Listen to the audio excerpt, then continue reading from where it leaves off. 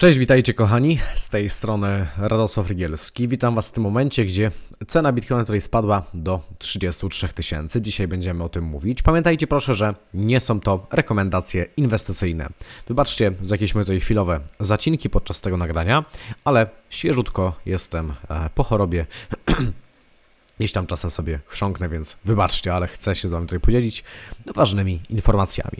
Dobra kochani, mamy tak, spadek Bitcoina z 68 do 33 tysięcy. Jest to zjawisko oczywiście wcześniej wielokrotnie powtarzane przez Bitcoina, e, ale przechodzimy do konkretów. Pamiętajcie proszę, że nie są to rekomendacje inwestycyjne.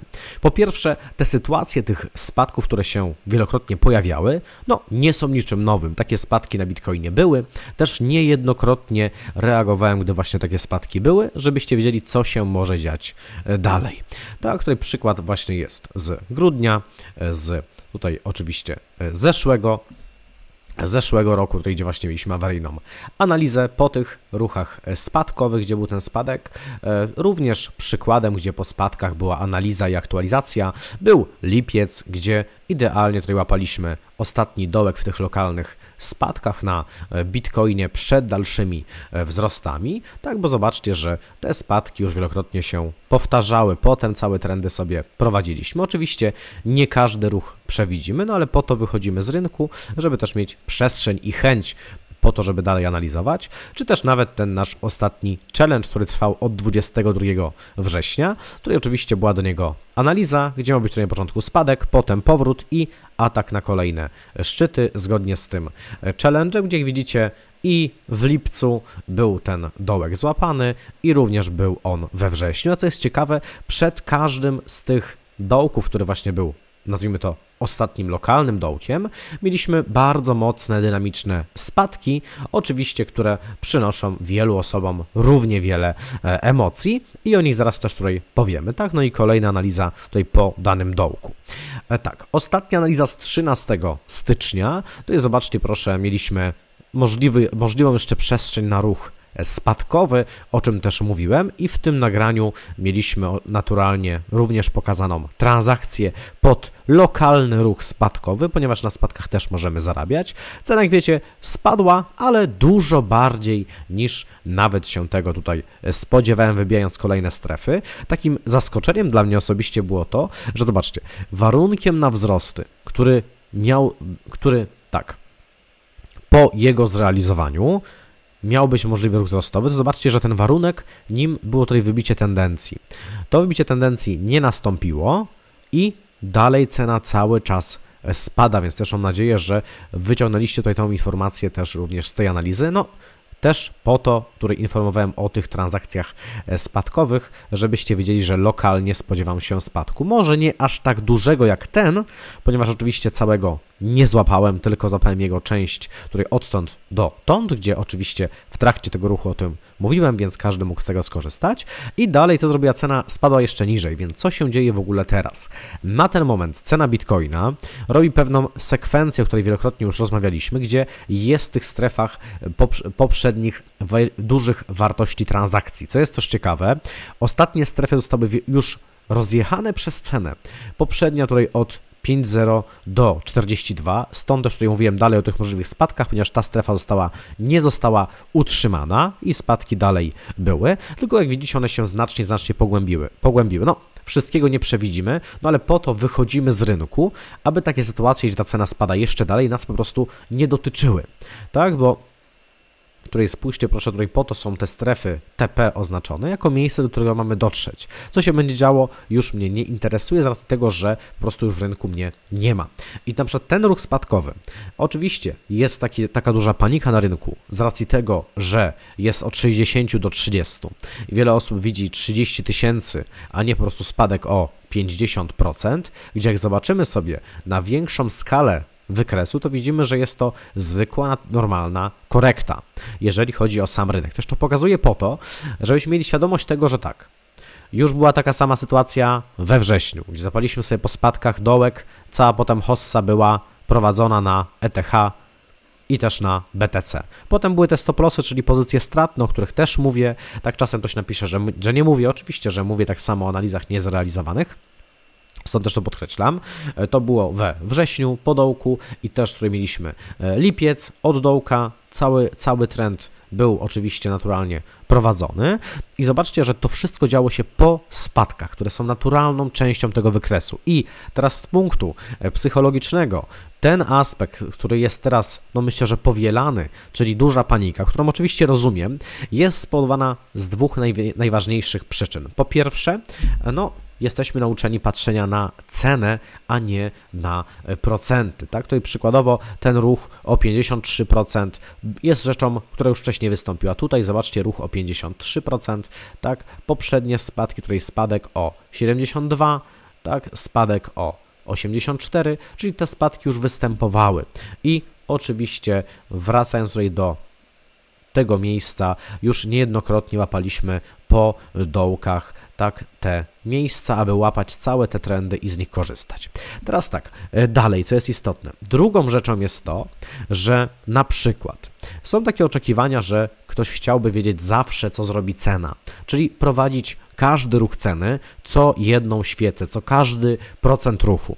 Zobacz, ja pokazuję na żywo, jak to robić, gdzie od e, tutaj mieliśmy tak, zakres październik, zakres wrzesień, gdzie od tego obszaru do tego której był, jak widzicie, ruch wzrostowy. Teraz cena wróciła i jesteśmy faktycznie niżej, czyli to oznacza, że na ten moment, gdy ktoś na przykład wchodził w hold, czyli kupił i nic z tym nie robił, to w tym momencie tutaj od października, od września jest minus 20%, a zobacz proszę na podgląd na rachunku. Jest on na plus 40%.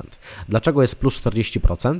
Ponieważ w międzyczasie tego wzrostu Wychodziłem z transakcji, o czym już oczywiście na żywo mówiłem, stąd też, też jest ten challenge od e, września, tak, który widziało 20 tysięcy e, osób i Potem, gdy te spadki były dalej kontynuowane, to ja tutaj z tych część duża transakcji była zamknięta, o czym też mówiłem, i lokalnie, jeżeli była taka możliwość, to też z lokalnych pozycji spadkowych korzystałem, czyli jak cena spadała, to już wartość, wartość rachunku nie spadała, tak? Oczywiście, czy ona mogła rosnąć? Jak najbardziej mogła, niejednokrotnie rosła. No, tutaj ostatnią transakcją niestety popełniłem błąd i było minus 5%, tak? Więc też to rzeczy oczywiście pokazuje, ale co jest ciekawe, jest plus 40%, a nie minus 20.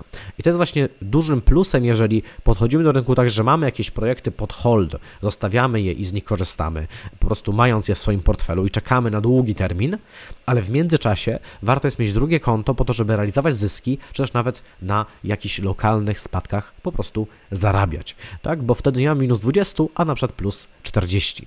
I to jest istotne, że której nie jest wyzwaniem to, że jest ten spadek, tylko to, że duża część osób po prostu z rynku nie wychodzi. Czyli gdyby ten spadek był liczony przez wszystkich od tego szczytu, to naturalnie, że mamy dużo emocji, ktoś nie wyszedł z rynku tak dalej.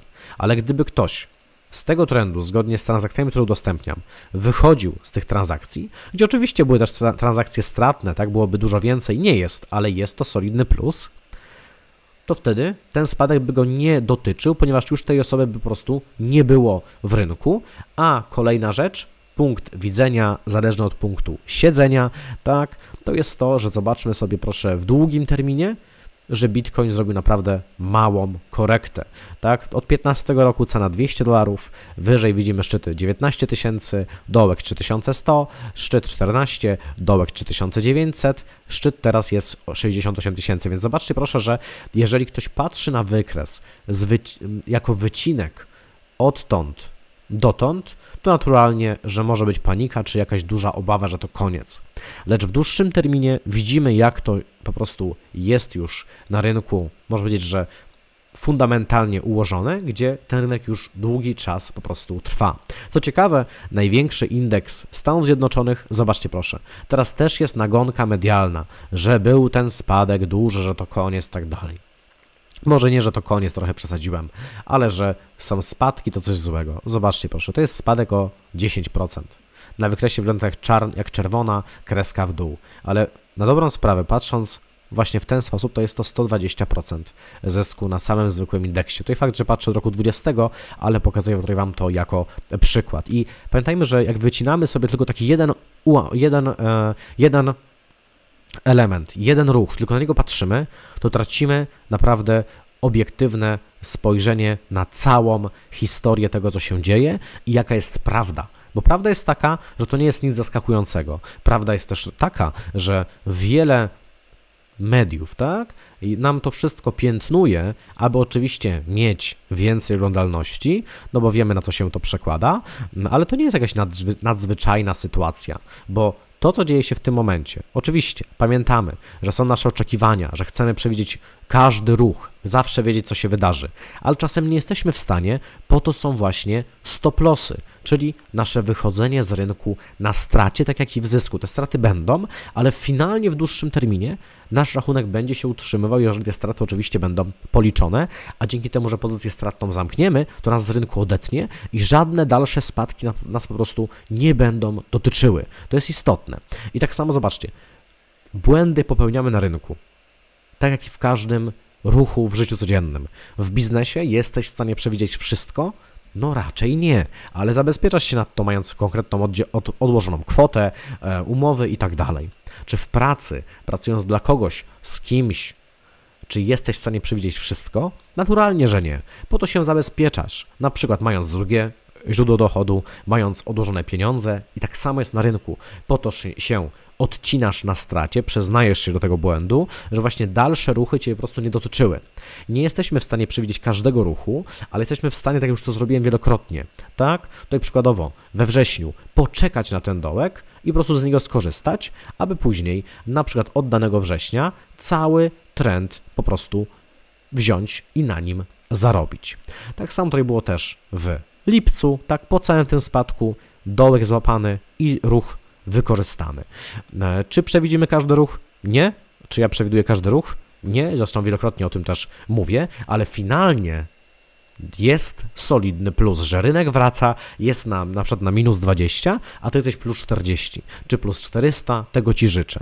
Ale to jest bardzo istotne. Tak samo odcięcie się od rynku, bo to nie jest tak, że ruch wykresu generuje emocje, generuje dla wielu osób e, jakieś na przykład e, negatywne podejście typu, że e, czują obawy, są źli i tak dalej, to nie jest wina tego, że cena zrobiła ruch, tylko jest to spowodowane tym, że ktoś podczas tego ruchu jest w rynku, a to jest zasadnicza różnica.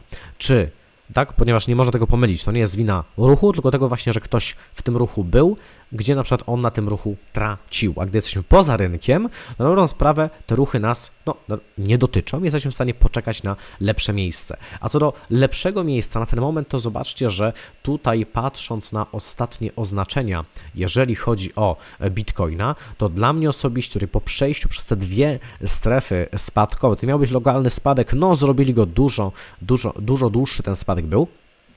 Przebiliśmy się tutaj przez strefę 3,6 e, aż do 4,1 i zobaczmy, że w tym momencie strefa 3,5, czyli od 27 tysięcy do 35 tysięcy, jeżeli chodzi o cenę bitcoina i jakiekolwiek wzrosty są możliwe tylko tutaj po dalsze, tylko tutaj po wybiciu tej tendencji. To trzyma cały ten trend spadkowy w ryzach ta tendencja, czyli kąt cenowy plus jeszcze wartości transakcji, które właśnie są w tych oto miejscach. Więc na ten moment najbardziej istotnym dla mnie osobiście poziom będzie wybicie tej oto tendencji pod kątem, tak? Ona nie została wybita, więc może tutaj to śmiało przesunąć, ponieważ nie było to aktywowane, więc jeżeli coś jest nieaktywowane, to cały czas to zostaje, tak? E, druga rzecz, tutaj dalej będzie do pokonania ten oto poziom, zobaczcie proszę, e, 36 tysięcy aż do 41 tysięcy, żeby jakikolwiek dalszy trend wzrostowy mógł e, trwać. I to jest właśnie moment, który wielokrotnie już się powtarzał.